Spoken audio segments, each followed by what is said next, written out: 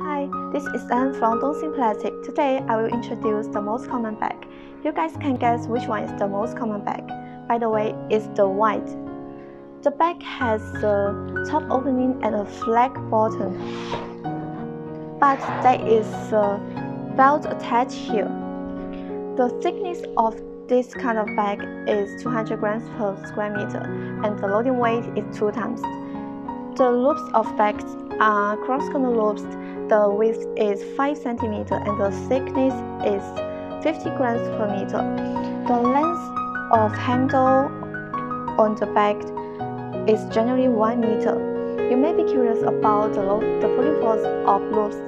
Actually, one loop can support more than 1000 kilograms. Well, this is the most common bag. If you want to learn more, please contact us and see you.